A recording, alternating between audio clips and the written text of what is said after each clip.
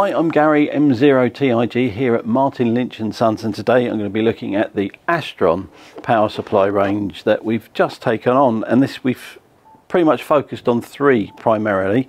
Um, now we've got two, I think if they're an M they come with a meter. Now I think this one is a non-M, this is an AP.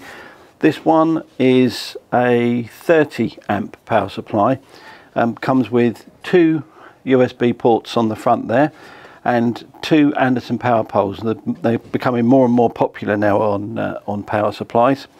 Um, these are so well made, um, just beautifully constructed and absolutely look the, the, the business.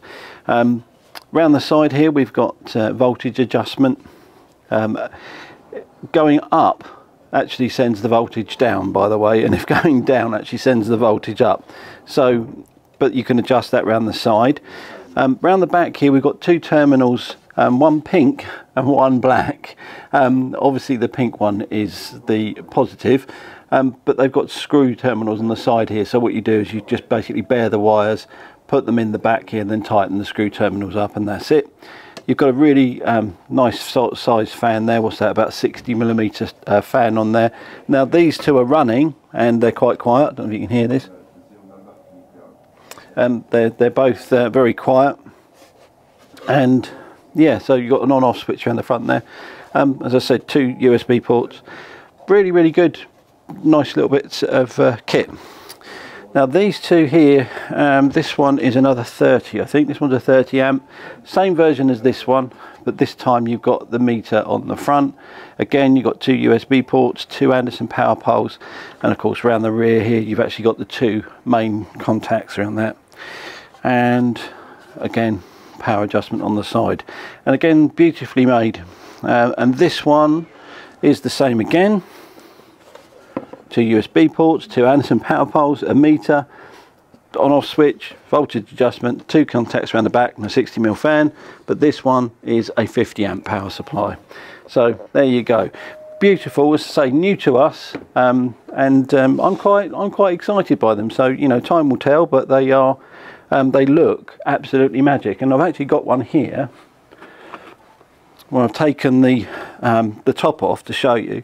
We've done this so that you don't have to. So do bear in mind that these can bite. So if you've got a lid off any um, power supply sometimes they can store quite a lot of, uh, of electricity. Please don't take the lids off of things we've done it for you. But you can see here um, just how well made they are. Spares are available as well I notice on their website. Um, I'm going to talk to um, Astron and just see you know what uh, what availability and stuff spares and stuff are which is really unusual these days for companies to offer spares um, on especially on um, these sorts of um, power supplies. Exciting I'm quite quite pleased with that. But they're beautifully designed quite uh, clear in, inside so they look like they might be easy to work on as well in the future. So happy days. Okay so I've cleared the power supplies away um, but keeping in that sort of same theme um, something uh, that I think every shack should have and that's a, bit of a distribution board. Um, and if you want to sort of go entry level then the CG antenna um, offering offers great value for money. Um, I mean, check the web for, for all these prices, by the way. Um, but again, you can you can just bring your um, the output from the power supply goes to the input of the distribution board, and then you've got one, two, three, four fused outputs um, for all of your kit around the shack. Um, this one is a screw type um, connector or and banana plug entry on the top there, but that one is a more of an entry level um, into distribution boards and this will just keep things just that little bit uh, tidier. Now when you want to step up just a little bit then probably look at something like the West Mountain radio range of products. Now this one is a tiny one, they do do slightly larger ones. This has a range of uh, um, Anderson power poles. You've got a 40 amp input fused input here. So that's where your DC comes in. So you can use something like the Anderson power pole connection on the power supply there just do a connecting cable take it from there to here then that will give you one two three four five outputs. Um, you've got two at 25 amps you've got one at 10 one at five and then one at one amp. And you know together providing you don't exceed the 40 amps on that which those power supplies I think the only one that covers that is the 50 amp power supply. So one of these is absolutely perfect. Again these are beautifully constructed. Um, again it's a US I didn't say that about those uh, Astron power supplies. They're actually a US uh, manufacturer. Again, these are made in USA, beautiful quality, um, and I've actually got one of these in my shack. Really, really good. So there you go. That's the RigRunner from West Mountain Radio. Now, we also carry a whole range of DC cable. Here, this one is, I think, uh, 40 amp cable. Um, you know, we'll just basically give us a call, let us know what it is you're after, or just jump on the website and all of the cables are available, sold per meter. So whatever you need to actually make all this stuff work, then just give us a shout, it's not a problem. Okay, and then for those people that are running maybe a remote station, um, this is actually available. And what this is, is um, it's an internet-based uh, DC power controller you've actually got a whole range of Anderson power poles on, on, on the back. One is DC in and the rest are all controllable. You've got one, two, three, four, five outputs which are controllable via the internet and probably via some kind of web browser or something like that. Got a nice little display around the front and you've got some, some buttons on the front where you can control them manually as well if you wish. Um, there's a little display on the front there which will just let you know whether or not the, um, the power is on to whatever um, one whichever output. Um, you also get an Ethernet cable uh, in there as well, and of course um, uh, the West Mountain radio um, products have always come with a lovely little manual, which is pretty strange nowadays. Um, most companies now are all sort of either CDs or, or, download only nowadays, but West Mountain Radio still put a nice little manual in there, and it's quite informative, which is uh, really really good.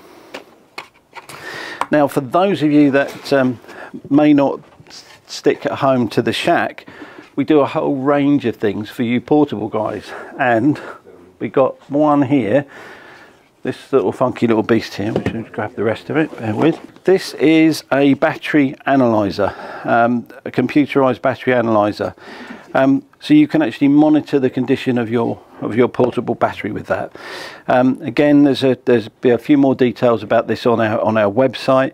You will have to provide your own battery, unfortunately. Batteries in the UK, shipping them and stuff is just an absolute nightmare, um, as uh, I'm sure you all know. But again, beautiful little product, really really well made. Uh, nice cooling fan on the top, and yeah, nice little little device really useful if you're going portable for a long period of time and you want something just to keep an eye on stuff. The next thing I think we've got down here is for you guys again that are going to go portable and you've got yourself one of those sort of LifePo um, motorcycle batteries or something like that there is a, little case for them to go in. Um, and again you get a nice little manual. You get a bag of fittings. Don't quite know what they do but I'm sure they do something. You do a, there's a there's a battery uh, connector uh, cable inside.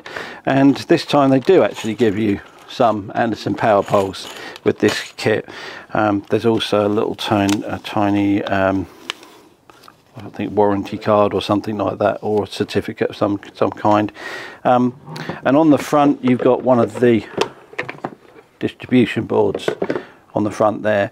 Again, this time it's actually fused at 25 amps and there, and there are two 10 amp outputs, one 5 amp, one 2 and one 1 amp output. And uh, again, it's, this, it's the same, same unit as what we're looking at there. And that is, I believe, is a 4005, that one. So I'm guessing that'll be the same. Yeah, it's written on the front. Um, so yeah, so there you go. But it comes in a nice box um, so you just put your battery inside there, um, pack it out so it can't move around, and then put your lid on the top. A couple of vent holes and all that sort of stuff. Could be useful for for maybe if you've got like a solar setup or, or something like that. This would would be really really useful for. Um, so yeah, there you have it. And of course you've got a strap that goes around the top. Now I think that pretty much sums everything up. I, am not sure there's any, any more I can show you. So um, thank you very much for watching. Um, we have now reached 10,000 subscribers, so thank you to everyone that has subscribed. Um, it's always welcome um, when, when someone does. It makes us, you know, it, it, gives us a bit of feedback to sort of say that we're doing the right or the wrong thing. Um, talking of the wrong thing, um, a lot of you guys commented last week on our last video that um, the FT891 and the SCU17 needed two USB um, connectors and you didn't think that was quite quite right. Unfortunately, that is a workaround for people that have an SCU17 and an FT891 so they don't have to buy anything else. So thank you very much for all the feedback. And if anyone knows how to get that SCU17 to work, um, you know, fully with that radio, I am all ears. Please drop us an email at support at hamradio.co.uk. Um, but again, thank you very much for all the subscriptions and all the views. Um, and we really do appreciate it. So again, thanks for watching and I'll see you next week.